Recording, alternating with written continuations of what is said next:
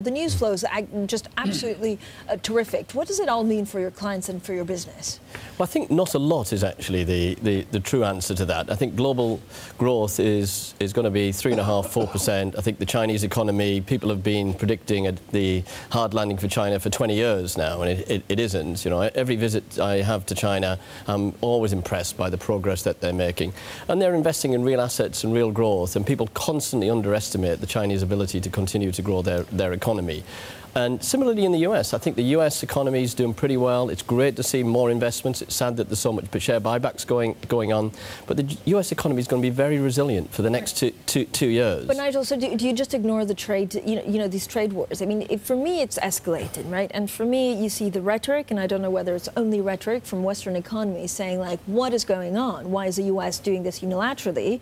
How ugly can it get? And that must have an impact on growth worldwide. I, I disagree on that. I think the, these are you know, minor skirmishes at, at the moment, and you know, people are trying to protect, you know, difficult industries, and the steel industry is a particularly difficult industry. You know, China produces 830 million tons of steel. The UK produces less than 1% of that, about 7 million tons of steel. So we're, we're tiny in that context, and therefore it's very difficult for us to survive in those sorts of industries uh, anymore. But there's lots of other industries which we can do a great job in. Okay, what about cars, right? So we understand there's a process now in place in the US to possibly target cars, foreign cars, German yeah, cars, yeah. UK cars. No, no I, th I think th th that may happen, but actually, who produces cars where is, is an interesting question. The, last time I was in China, they're figuring out how to, how to export BMWs back to Germany. So, quite who owns what cars where. It's a very interconnected global economy, and in the interconnection of the global economy is one of the reasons it's been growing, I think, uh, quite strongly. But it's only when contagion risk happens, not country risk happens, or product risk ha happens, that we see e economies falling away across the world. And my own personal view is that's only going to happen if there's a short-term spike in US interest rates as a consequence of what, what happens. Otherwise, there's going to be a lot of noise, a lot of political noise. You know, the Italian government's changed once every year for about the last 60 years, and the Spanish government is, is also. You know, the UK, the US, Germany, and China have very, very stable political systems, right. all, all in all. Nigel, uh, you learned this at the Massachusetts Institute of Technology which is monetary theorists don't work in a vacuum. Do these set of events that we see, and as Catherine Rampell at the Washington Post suggests today, Mr. Trump bombing us back to 1680 mercantilist theory, do the bankers at some point, Powell, Draghi, Carney, they have to react to what we're seeing on our television screen right now, don't they?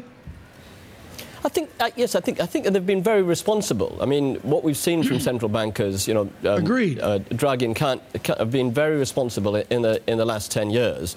I mean, if you look at the last 20 years, an amazing statistic: Portuguese bonds have outperformed the S&P 500, and so we've seen some extraordinary things happen in the in the last 20, 20 years as a consequence of central bank intervention in the economy in a very positive way. And what we found is you can borrow money very cheaply from all people, in a sense, and that that's what's happened at a world world level. And so financing is still very cheap. and there's loads of great ideas going on. There's lots of new and emerging industries happening and lots of new jobs being created, as undoubtedly we'll see in the statistics very, very shortly in both the US and, and, the, and the UK. So they can't stand back and do nothing. But so far, it's a skirmish hopefully the politicians will see sense yeah. and actually we don't want the skirmish to become a war and a, a, trade war is very different from a skirmish and you know motorcycles, uh, peanut butter and, and orange are, are, not going to change you know, the world's economic growth.